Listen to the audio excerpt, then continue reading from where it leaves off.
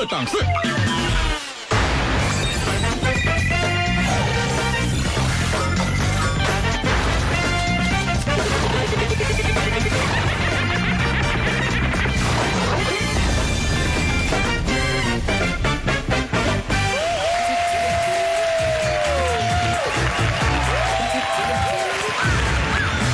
老师，条件这么好，没有跳槽过吗？哎，好公司小心跳到沼泽层。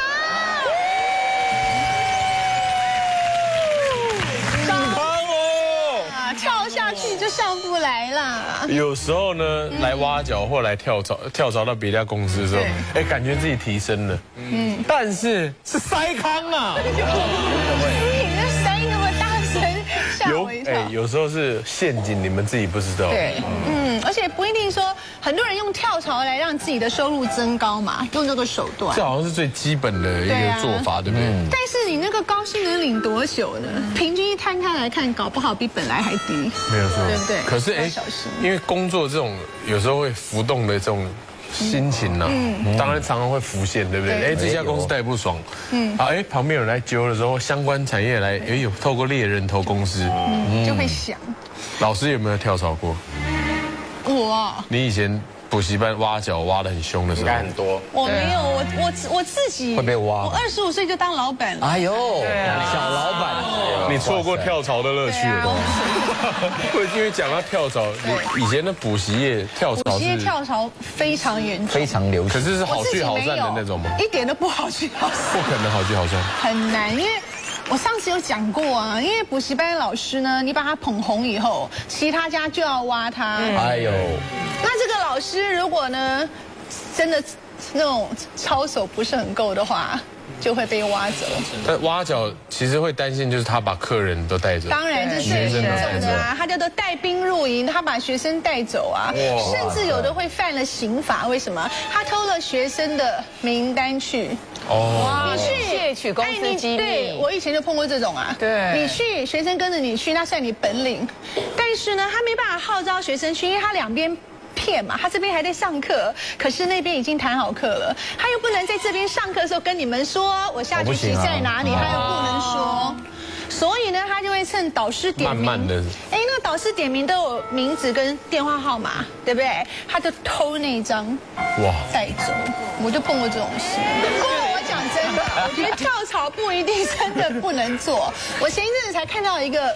国外，我记得是英国的一个报道，说入社会开始工作到退休四十年的职场人生呢，要做一个调查。不过这是国外就是了，平均一个人会有六次，呃，一生有六次的工作。哇，哎呦，然后十次的面试机会，然后我记得是八次的重大这个收入的条幅，所以其实这一定很多某方面要靠着跳槽才能做得到。没有错。我们很多跳槽经验的重量级来宾，第一位换过无数老板，最后自己出来当老板的超级制作人沈玉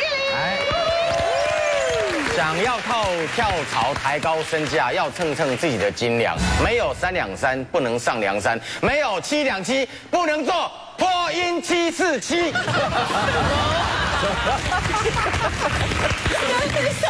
你要三两三才能上梁山嘛？那那你没有七两七，就不要去跟人家做破音七四七嘛。有道理啊。七三七就可以啊，比较慢啊比较慢对，就是不能做七四七嘛。硬凑啊，我啊，你去做七四七。我们欢迎下一位理财专家樱桃小丸子卢燕玲。Hello，大家好，职场如战场，小心跳错槽就战死沙场。哎呦跳错槽哎，好可怕，听起来好恐怖，血淋淋。下一位华尔街金童生活观察家透哥。换工作就跟换情人一样，换的那一刹那好开心哦，但是回眸一睹的时候，才发觉旧爱才是最美。哎呦哎你今天难得讲这么有智慧的话，真的啊，心里想什么？职场观察江浩今天穿的好漂亮，张旭来。想要跳槽，要看未来的前景，不要只看前景，不然你以为你进了前坑，其实是大火坑。对，我们来问问今天跳槽达人，什么原因你会想跳槽？其实啊，我这一生跳槽的次数不多啦，因为我秉持一个原则，转业不聚财，嗯滚石不生胎呀。对，你是很注重情感的人吗？啊，我重视情感，有时候这个单位哈对我已经让我觉得说已经非人的待遇了，可是我会冲着那份你是说点勇哥那边吗？不是不是，没有电勇哥那不算啊，因为那里我离开我就开公司啊，所以那就那就不叫叫跳槽不是，倒是在那算打对台。对对，直接对，台已经打对台了这个叫做。翅膀硬了。倒倒是在那之前，我这个人跳槽，我比较不会说是因为酬劳的问题，因为其实我记得我那家公司给我的酬劳已经不错了。我在入行不到三年的时间，我已经快要有四万块的薪水了，很棒。好，我要跳槽原因一定是因为觉得好想要突破。啊，每家公司有每家公司的风格，那有的公司的风格，那可能就要你守成安稳，啊，听上面的就对，啊，那我这个人呢爆发力强，好，那我要强烈喜欢自己做主，由我来主导，没有错啊，那如果在这家公司他不能满足我的话，这个时候出现另外一个人说，哎。你在那里是埋没了，你来我这里啊，我给你加薪，对吧？那我就考虑到说加薪也 OK，可是因为呢跟我谈的时候，跟我谈的时候已经是十月了，转眼间就要领年终奖金了，好，所以我提出这个问题说，那年终奖金怎么办？你来，你来，我我一样都补给你啊。然后最重要、最吸引我的就是他很厉害哦，这个就跳槽要挖角人哦，必须要有相当的学问，那当然这可以另外专案再谈了哈。他多高干啊？他为了为了笼络我的心哦，他有办法每天找我吃饭哦，然后吃饭座上宾呢都是一些当时呢，好那个很有名的知名制作人，好都是大咖制作人，然后呢他们就故意在我面前那边讨论内容，然后我好像弄得很厉害哦，啊一一群都是很有创意的 idea man 这样子，然后我我就边听然后边心想往之。我觉得说哇，这个才是嘛，一群才子啊，在那边讨论内容。我们要讲一个礼拜的事情呢，他们呢五分钟就想出来了啊。那我就是要的是这种这种环境才对，这很吸引，有很很吸引人哈。然后其他那个加薪也也 OK 啦，那年终奖金也搞定啦啊。要他那然后他又告诉我说，他们那准备要开什么新的节目啊，马上就就需要人手了啊。因为这样啊，我就毅然决然呢。告别了旧公司，跳得好吗？跳槽，如果如果说历史可以重来的话，我可能还是会选择跳槽了，因为事实上我到了新公司去，确实我的主导性变强了，因为公司没几只猫嘛，以前我们那公司啊上百人呢，含业务单位，好拉广告业务单位上百人，我们这家公司呢，连老板跟我算内这五个人，你就是您为鸡首不为对，那我去就当老大了嘛，那当老大反正老板忙嘛，那我就说了算嘛哈，所以我自己就可以哦自己那边自由发挥嘛。很多时候我们你跳那么多经验，大概有一半是好的，一半是不好的经验。所以啊，这边我之前分享过一个比较奇怪的例子是，之前那时候我们的公司虽然薪水很好，又有有知名的一个外商公司，但是很奇怪的是。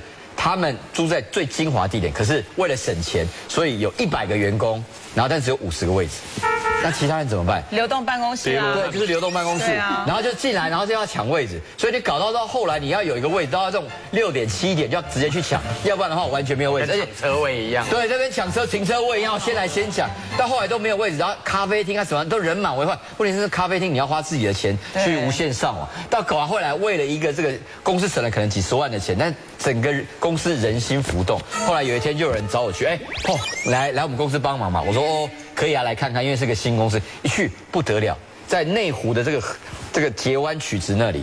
哦，提顶大道那边，整个看整个这个基隆河，我说哎，这个办公室就给你，而且是靠窗的。我一想说，哇，很重视你啊，靠窗的不得了，我们每天都在在提着那个笔记型电脑，终于有个位置可以坐了。然后说，你看这边多好，以后然后还看指给我看，你看那个地堡是不是好好拼，以后就是你的。这个什么，请你豪宅是不是？他在那个什么大直豪宅，以后拼了就是你的。哇，一看然后直销公司哦。对，然后一看看到那么大的一个 view，然后办公室又那么好，然后二话不说就去了。结果完蛋，一去以后呢，哎，一开始哎，破哥，这你那个办公室可不可以帮我们堆一些，帮我们放一些东西，开始堆杂物了。然后呢，第二个，然后呢，墙被拆掉，说哎，办公室人不够，然后再塞个两三个人，到最后。连所有这个这些员工那些脚踏车，因为离合体很近，每个人都骑脚踏车。哎，脚踏车因为没有地方放，这边可以排一排。到后来我出去的时候，都要把那脚踏车搬开才能出去。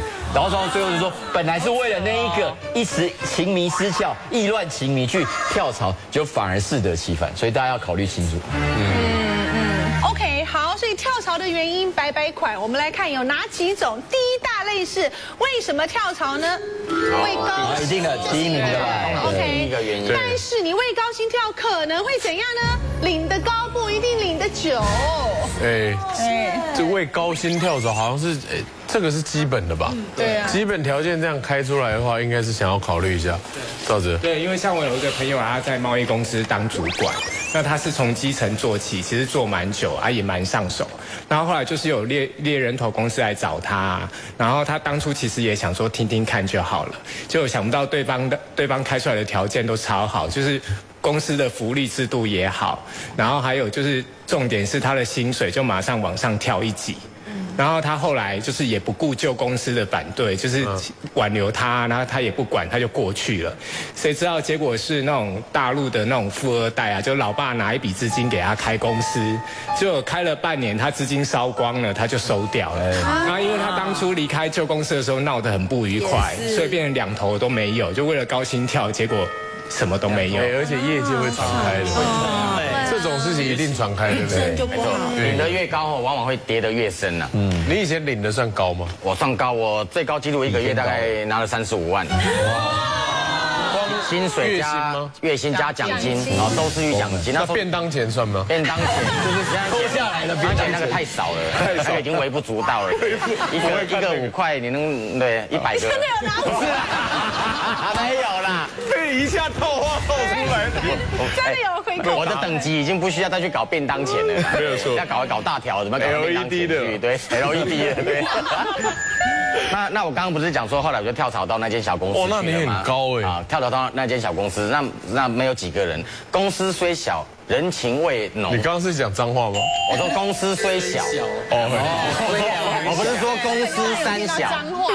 公司确实有三个年纪很小的，所以叫公司三小。对，公司虽小，但是人情味浓啊。寒冷的冬天，我们会在公司啊跟着老板围炉煮火锅啊。那老板答应我们说有大节目要开，虽然没有，可是我们在公司呢，没事看报纸、写写案子，哎，也乐得轻松啊。那这样的一个环境应该不错嘛哈。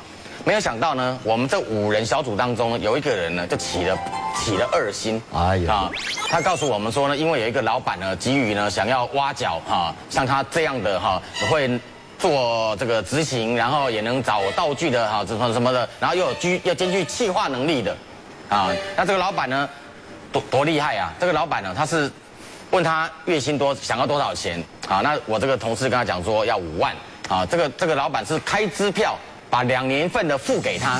哇，阔气耶先付哎，那那个时候制作圈不只对主持人这样，对优秀的幕后工作人员哦，经常就是先把你啊包下来的。哦，也会这样吗？那我们这个同事呢，为了带枪投靠，带枪投靠必须要那一把枪嘛。那你那把枪是什么？你不能把公司火锅拿去叫做带枪口投靠啊。那时候那时候哦绝对是电磁炉。在在他要离开的，在他要离开，傻子在他要离开的前夕呢，老板承诺我们的那个节目呢，终于呢历经波折之后开了啊，而且开在什么位置呢？开在就是那个给他支票老板呢，同时段打对台的。哎呦，他他带什么项去投靠呢？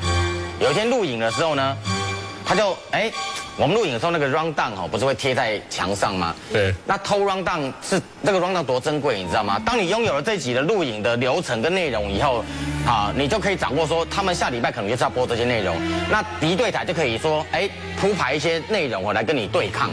那我们这个同事呢，他就进了摄影棚，要干走那张 round down。让黑人成为牛郎店红牌，唯一的条件就是那如果黑人去牛郎店的话，一定是红牌，拼体力的，他应该是可以走那个拼体力那样拼体力。先说哦，我不接吻的。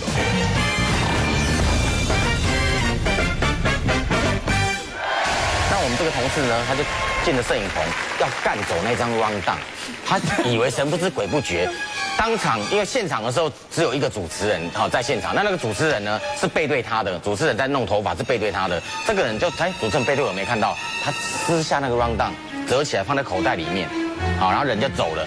那等到我进棚的时候，发现哎墙上不是贴好，哎还是掉了，哎奇怪，我就那个主持人就把我叫过来，玉玲，我刚刚看到一个大秘密，哎呦，啊，他就跟我讲，原来啊、这个人在撕 round down，他以为他背对主持人，那主持人在吹头发，啊，有镜子啊，他的一举一动，他的鬼祟的行动，都在镜子的反射，他都被主持人看到了。蠢到这种，这也蛮蠢的啦，真的。不要不要跳，真的。后来后来要跳槽了，好花不常开，好景不常在了。拿了人家的支票，我跟你讲啦，这个社会上就是这样嘛。我为什么约你更多的钱？我就是要你有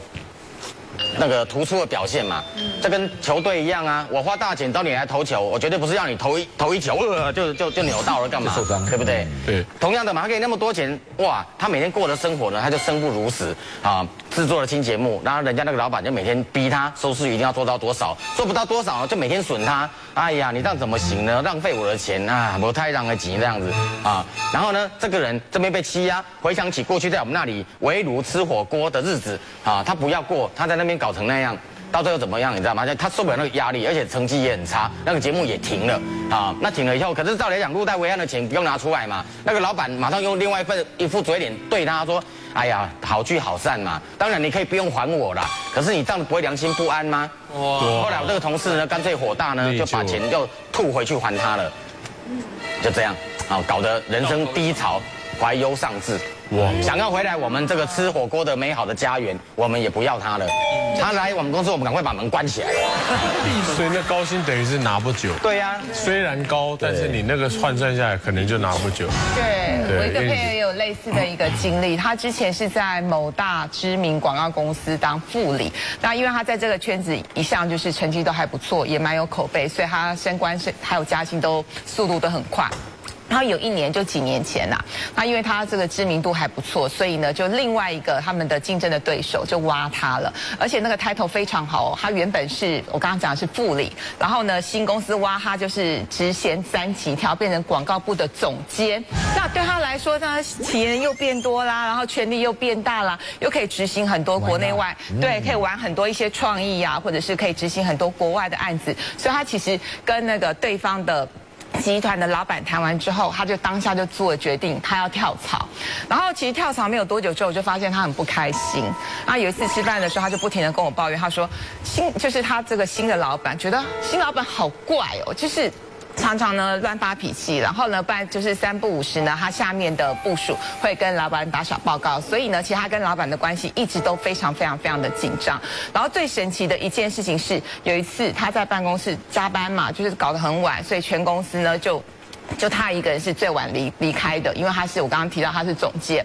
就隔天发生什么事情？隔天一早，他一踏入办公室，办公室他又是第一个人进，就第一个进办公室的时候，他就尖叫了，因为呢公司遭到小偷，就是遭窃了。好，那因为公司遭窃了，他发现，所以他立刻就通知保全什么的，叫警方来。后来呢，老板知道之后，老板就很生气，老板就指着他的鼻子骂他说。昨天你告诉我，你昨天是最后一个离开的，你是不是没有把公司重要的东西顾好？你害我们一直损失了多少多少多少多少钱？那我这朋友就觉得很莫名其妙啊！你好像是专专门因为针对我而下了这么多莫名其妙的一些罪状。所以他其实当下就知道说，老板想要赶他走，只是他一直不知道说，哎，老板你这样子挖了这么花了那么多心思，然后用了这么多钱把我挖来，然后呢我还待不到三个月，可是你只是因为听了下面的部署打我的小报告，然后呢你的脾气很怪，那我没有讨你欢喜，我没有时时刻刻抱你大腿或时时刻刻跟其他同事一样称赞你，所以因此你要把我弄走。最后呢，老板就给他下了一道通牒，他说某某某，我知道你在业界很有名，那我现在给你两条路走，一条路呢就是呢你自动请辞，自动请辞的话呢，好歹你可以保保全你在这个业界的声誉嘛，就是你可能是跟我八字不合。那另外一条路呢，就是我支持你，你要选哪一条路？就对我朋友就打电话问我说，耶丽，那你觉得我该怎么办？我是不是应该自动请辞，保留我在这个业界的一个名誉？找他之前老板之前，然后我就跟他说，我觉得你不应该自动请辞，因为如果你自动请辞的话，表示呢，表示你真的是能力有问题。那因为这个老板其实很难搞，业界都知道他很难搞，所以呢，如果你领了资遣金，大家可能还会知道说，其实是老板有意想要把你弄下，所以他到最后他还是申请了资遣金。对，所以其实这件事情给我们业界还蛮大的一个震撼，就是说，哎，那个领高薪哦，真的不见得可以领很久，因为像我的朋友是领不到三个月，超级夸张的。那等于。失去之前稳定的那个工作。对，所以他后来要再回到原来的集团、原来那个公司，他想要再回去当。当副理的时候，其实那个位置已经有缺，所以他因此还休息了将近是长达一年哎，他一整年都没有工作，老本对，因为他是高阶主管啊，高阶主管位置一旦没有，其实你就是没有位置了。对，我遇过最夸张我自己本人啦，那个是薪水加三倍。他挖过挖你的薪水就是三倍，我绝对不夸张。二十八岁哦，我本来那时候一个月十万块，然后那时候挖过去以后跳过去，一个月三十万。真的假的？一年三百六十万，而且有时候高薪的时候，你会想说啊，高薪会不会业绩很高？比如说天文数字，你反正你也做不到，所以他就给你一个那么高薪。没有，我们那时候还去盘算过，说，哎，这个业绩，这个客户真的会下这些单，而且他的这个业绩定的也合理，可以做得到。那我想说，好吧，就跳。啊，跳完以后就说，哎，破完你就赶快来，我们等一下就要要找你要找啊，你要赶快这边要先辞职，然后呢，然后有一个过渡期再过去。就没想到完了，我就好啊，辞职了，反正反正钱那么多，没一个月那么好，那可以先去玩个一两个礼拜嘛。结果我就去玩玩玩回来以后，完蛋。他说，哎，我们不是该上班了，怎么都没有 email 来都没有通知，或者说打电话来通知。他说，哎，我们的那个总部有一些状况，总部对，就是 headquarter 有一些状况，美国那边有一些状况，人事冻结。所有的一些新的这个动员令，全部都给我冻结住。然后呢，至少要说不，但你没关系，你是一定在排名在前，呃，前一两个，你一定会有。等到这个一开以后呢，你一定会进来，所以不用担心，不用担心，没关系，没关系。我说哦，好吧，没关系。但是好死不死，你知道那时候我干了什么事？我那时候买了房子。哦，那你压力很大的一个房贷，我已经每个月有三十万。对啊，拿拿个几十万来缴房贷没关系吧？然后就开始哇，开始错了，就说哎，每个月每个月这样出去开始吃老本，每个月他每天打，然后你也不好意思说太积极的打，因为太积极的打就觉得说，哎，你好像很急这样，然后他一副跟你讲说啊，没有问题嘛，就是总部嘛，开了就已经给你看，因为你没有担心，每天都在看的那个存折，每天都在串，就还好，真的六个月后就让你上了啊，上了以后哎也很开心，然后就赶快付啊，赶快付，但是就就跟这个标题下的一样，领的高不一定领的久，因为付的太多，这个成本太高，半年就收了。半年就收了以后，我讲二难的开始。我们刚才不是讲买了房子，然后以前存的那些钱，六个月你能存多少钱？一一个月、两个月，然后找过的工作，你也不可能找这种所谓的十几二十万起跳，你是搞那种同样 level，就这样又空窗期了半年。所以在半年的时候才找到一个正常跟以前还更低的工作，比前一个我刚才不是说十万，我后来是又从八万的工作开始做，因为没办法被房贷压着走，所以只好领这个八万，然后做的累的要死的工作。当初不要跑，什么事都没有。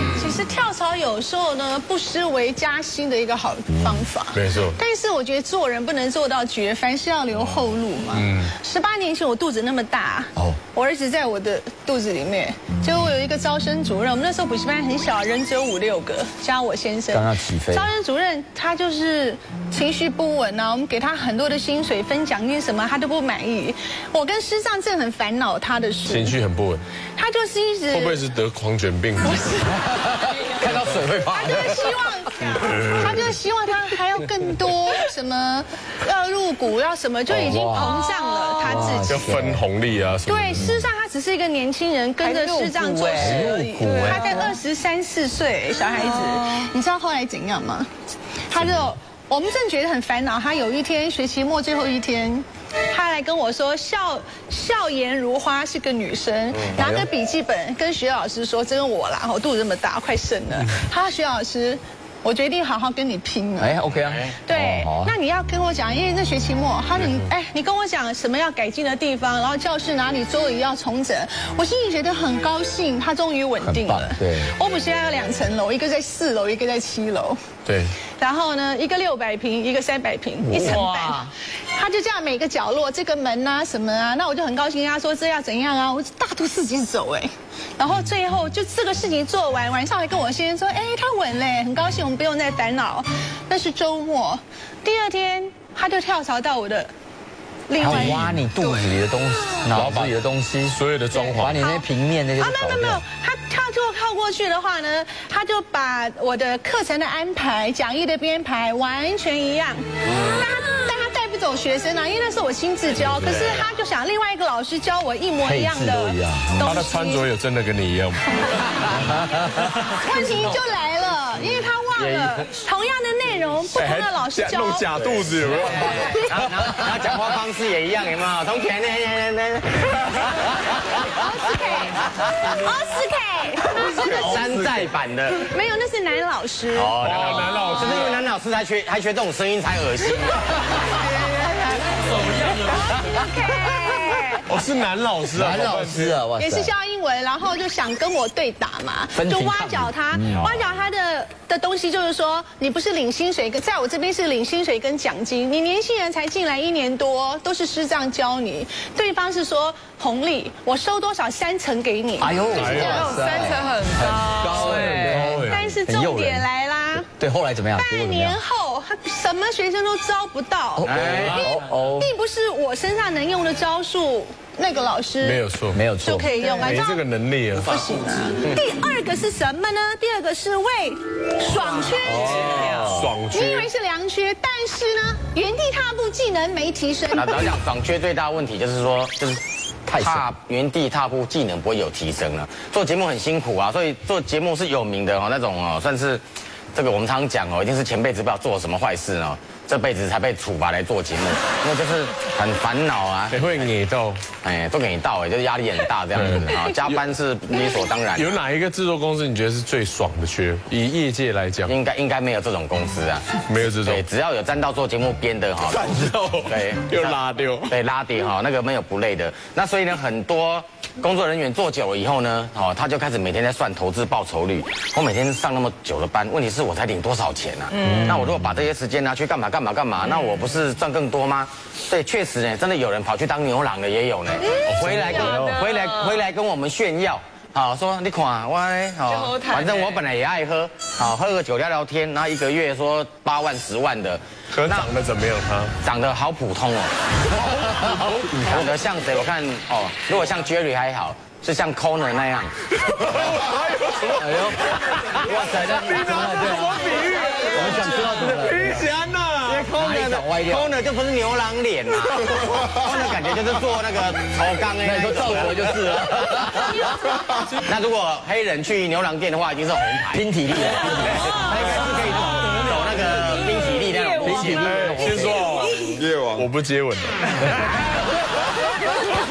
好啦，那我有一个同事呢，表现得非常良好，他就每天哦在打击我们的士气。那玉婷啊，你你你你你这样弄成这样干什么呢？你这么优秀，你把你这些时间哦拿去卖车，卖车就好，你都不止赚这些钱啊。后来他毅然决然投入说，他觉得说哈，他想要当老板。啊，他就去干嘛呢？去摆路边摊，他觉得自己就自己的老板。那时候路边摊很兴旺哦，其实一个月哦好好弄的话，搞不好赚十几万都有哦。那我们我们那时候了不起，就三至五万之间的薪水嘛。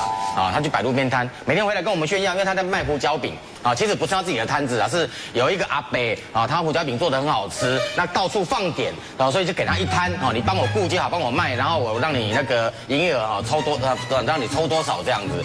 他摆。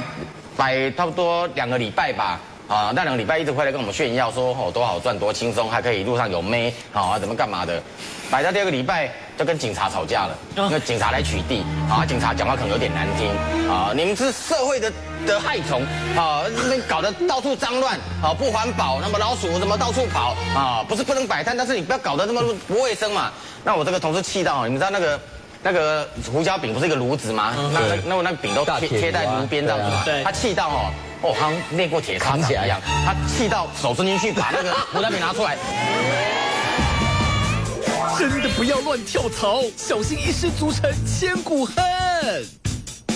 一年过后，他回过头去看他那些好呃原来的那那家旧公司，他的所有好朋友们，他同事跟他说某某某，你跳槽跳的好可惜哦，因为这家公司呢业绩呢是怎么样大幅上升，对，突飞猛进，每一位工程师哦分红配股下来拼。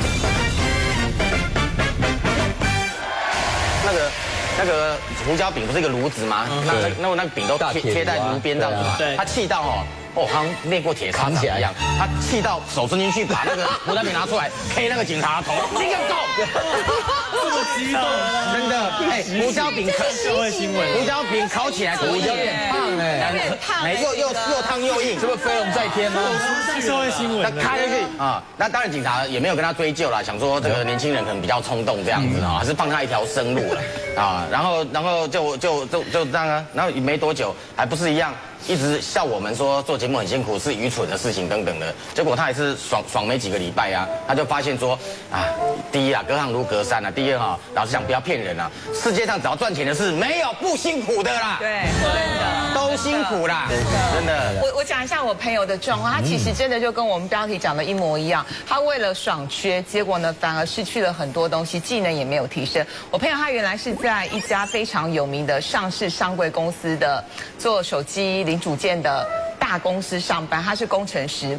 那他为什么想要离职呢？因为他很喜欢做股票，然后他又看到我们还有我们的一些朋友里头，这个投资获利都还不错，所以他就常常觉得说，哎，我很有做股票的天分。可是每次当他在下单的时候，他主管就在背后偷，就是看他，他就觉得好像他的人生呢，就是怎么就在那个电脑里头就这样子晃掉了。他觉得他很对不起他自己的人生，对他觉得他是下一个巴菲特这样子。所以当他决定要离职的时候，我就跟他说，你要想清楚哦。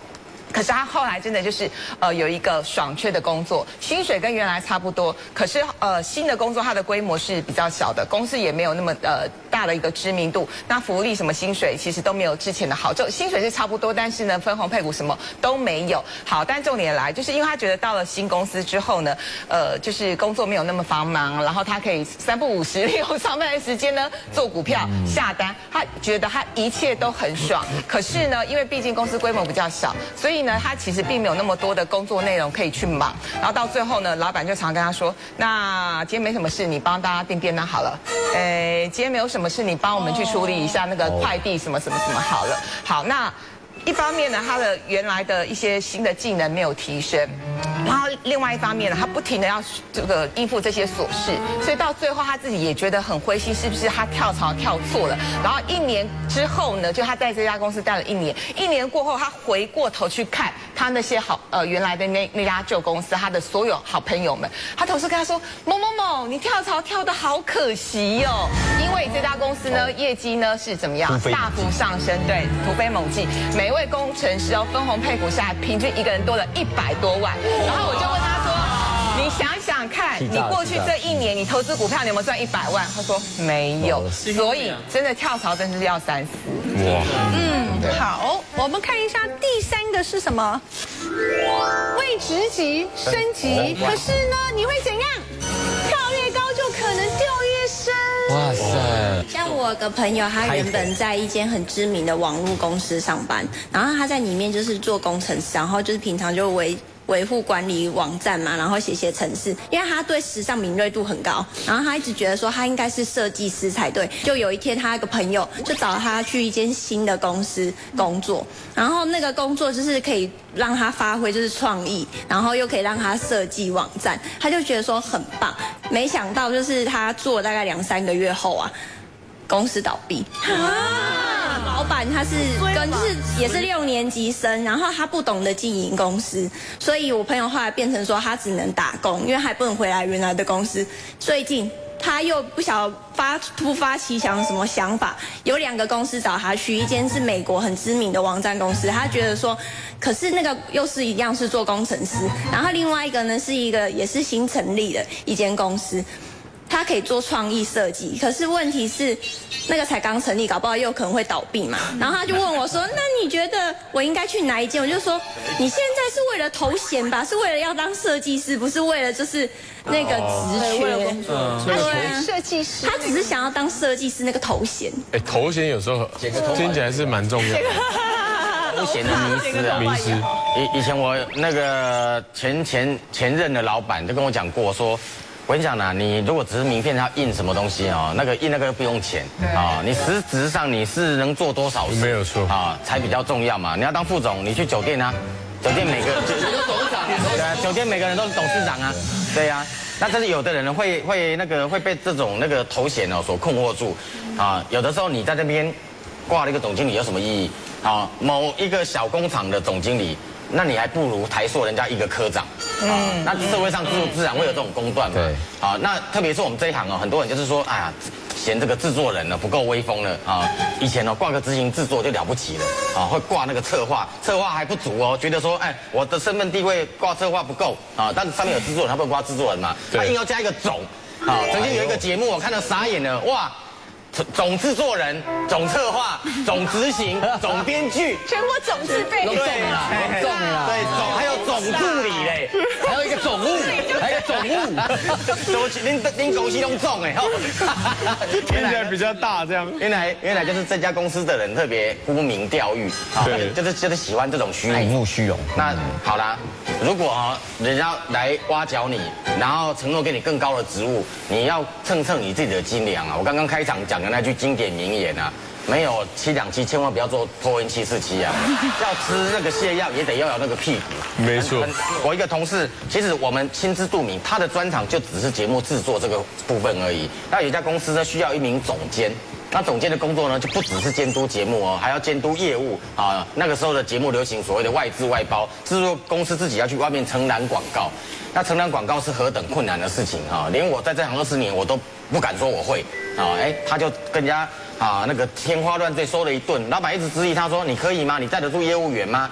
啊，我可以啦，那个没看过没吃过猪肉，看过猪走路啊，那些东西就是这样。我以前也带过行销公司啊，好像讲一大堆啊，就去了，完蛋了，人家给他两那个两倍的薪水，给他挂了一个总监，他每天呢还是窝在摄影棚，然后老板说，哎，怎么办呢、那个节目的广告那个你都不处理一下，他都不敢面对现实，因为他根本不会，勉强呢。那个老板带他出去跟那个广告客户应酬啊，两杯他就倒了，人家那个客户都还没讲到重点呢，他就已经倒了。这样的人的人，你要跟人家说你懂业务，你会拉业务，鬼才要相信。啊，没多久就被看破手脚了，看破手脚事小了哈，你就离开这个职务就好。啊，演艺圈、传播圈就这么小，嗯。这个老板那一张嘴哈，到处说说说说说，就把你说死了。后来也是离开这一行啊，郁郁寡欢。对，没错，因为其实阿里巴巴的创办人马云有说过，其实会跳槽只有两个，一个为了薪水阿里巴巴，一个为了心阿里。巴巴不是那个小胖小胖，小胖啊，鸡拿开的不是阿里巴巴。B to B 的小商务网站，对，马云老师，对，马云老师。还有说过，就是说一个为了薪水，一个为了心情，大部分都会两，所以为职称跳其实最笨的一件事情，嗯。但很多人还是为了这个职称哦，这样一头就这样洗下去。之前莎士比亚的名句，嗯，What's in the name？名字有什么？那大家都集中在 Rose rose，对，玫瑰就不会因为他改了名字以后就不会是玫瑰。好有学问哦，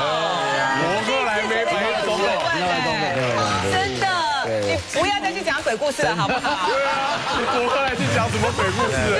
而且我们说实话，在这个这个所谓职场上打拼那么久，我们通常拿到不会看这个抬头，通常没有抬头的这种名片才是最大的。对因为那个都是老板，没有抬头没有抬头，只有名字那种才可怕。谦卑。对对，然后之前我们就有一个朋友也是，他就为了这个，因为大家燕丽姐应该知道，外资银行其实基本上起跳都是副总裁，对但一杆一竿子打下来，大概十个里面有八个是副总裁。那个时候我们有一个朋友，他真的是为了那个名称好听，然后钱也没有比较多，为了这个副总裁这个 title 就跳过去了。就被他跳过去的时候，第一天不是说，哎，你好，你好，我是谁谁新来的，每一个都是副总裁。然后问题是。十张名片里面有八张还加比他多资深副总裁，哎他脸就绿掉，说还有原来执行副总裁哦对，没有一个比他小的，他已经脸就已经绿掉。后来老板还讲，哎，总裁总裁，每个人都在，每个都回头，副总裁每个都在回头。公司里面很难骗，那去外面应该有用吧？因为可能骗骗外面人。就后来用这招，就是哎去相亲什么都无往不利，就没好死不死相到一个银行界的。然后那个他们的爸妈一看到以后说，副总裁，对，你好你好，副总裁，开玩笑，我们家那个弟弟小你五岁也是副总裁，他直接把他名片丢了。他也知道说原来 title 根本不是重点，大家都是那个大家都一样。对，OK，最后一个为什么跳槽呢？是为人情跳槽。哎。再来，还情却搞坏了交情。像我之前我的医美工作，他那个老板其实是我姐姐认识二十几年的好姐妹，然后她其实也算是从小看着我长大。然后那时候她为了要开诊所，然后要找会计，因为会计其实要找自己很信任的人。她那时候找我，我想说哦，我本来把她当姐姐，她应该对我会蛮好，就进去。就一进去没多久，因为诊所刚开始开始是很忙，然后每天都一直加班。然后我想说，因为有人情压力，我真的不敢去跟她要加班费。但是过了一阵子之后，我发现真的加班太多了，必须跟人去去要求一下。但我一要求，然后我姐姐那个好姐妹，她竟然骂我没良心，她说诊所都还没开始，你为什么不能跟我同甘共苦？她后来就开始跟我公事公办。那我想说，她跟我公事公办，那我也跟你公事公办。后来其实离职到现在，我们闹的其实就不是很愉快，而且就有影响到就是她跟我姐姐二十年的交情，就是他们现在感情就是也没有像以前这么好。我同事呢到别家公司任职了，然后呢他需要人手哈，就说哎哎来来嘛，我们过去配合的这么好啊，你现在呢在那边公司哈都停滞不前啊。那有时候因为我们常常哦那个下班后我们就属于那个聚餐的啊好朋友嘛哈，然后他一直三催四请呢，就不好意思哈。到后来决定好吧，就反正他说的也没错啊，去那边有他罩着啊，然后。回回想过去我们在一起的情谊，跟我们一起奋斗工作的那一段回忆，啊，就觉得可以去，一去啊就知道哈，其实人会变，事过境迁，啊，岁月会改变一切，岁月像一把刀，黑的木耳啊，紫的葡萄，软的香蕉。你今天情绪？故意的，因为我在故意讲这个，硬要扯这样，对。回忆起当年一起打拼的时光，沈玉琳唱了。当年啊，我们一起努力打拼，然后毫不计较的那个伙伴们，好，现在怎么变了？啊，以前我们会一起在那边唱《朋友一生一起走》，那为什么现在？我现在指的，我现在指的是说事过境迁，等到你再去跟他一起工作的时候，哎呦。不太一样啊！黑木耳变。当年啊，我们一起努力打拼，然后毫不计较的那个伙伴们，好，现在怎么变了？啊，以前我们会一起在那边唱《朋友一生一起走》，那为什么现在好像不能一起走了呢？走不下去。原来发现我们都长大了，我们有竞争了，我们在暗中较劲了啊！我这边稍微努力一点，打拼一点呢，他就开始酸我的说：“哎呦。”叫你来不是叫你来抢我的位置的啊！我就心心里面一阵惊讶震撼，然后原来他已经把我从好朋友当做他的竞争敌人了啊！那一天过一天呢，那确实那个竞争的态势越来越明显，他已经变成会在会议上直接指责我的错误了啊！有对，那搞到后来我觉得说算了，为了维持朋友的最后的这一丝的情谊啊，那反正我我那时候已经算是。声势如日中天了啦，到哪里啊？应该大家都是鸽字辈的，都是鸽字辈的。那我不要跟你窝在那边，我自己痛苦，你也难过啊，朋友也也当不成啊，所以我就干脆就离开，我去啊投靠那个别的啊工作单位的。嗯，对呀，嗯。所以有时候人情呢，交情。我觉得有些。可以当朋友哦，不一定能够当同事或老板。没有错，真的像我认识有一对，他们是真的平常都常常吃饭喝酒，好兄弟，感情又都好，就像玉林哥跟 PO 这么好，两个人常常去吃饭。结果呢，哎，因为玉林哥的公司呢，要要升他从总监。办呃，升成总总监、董事总经理，总经理 要给他挂一个总了。那他想说，那我要升了，我要找一个人来来补我的缺，对不对？他 PO 跟我这么好，跟我这么对痛，他就找 PO 进来。进了公司以后呢，哎，开始就觉得说很多很多事情哦，就要交给 PO 来做了，就开始哎颐指气使了，要要表现他是大哥，你要知道这是我带你的哦，就常常会告诉他说，哎，你知道，就是哎，都是我在罩你的哦，哦，希望他多多多多哎，要看他当他大哥。这样子，那阿 Po 呢也是很给面子，然后常常都是给他面子。但是呢，重点是他这个总总董事是吧？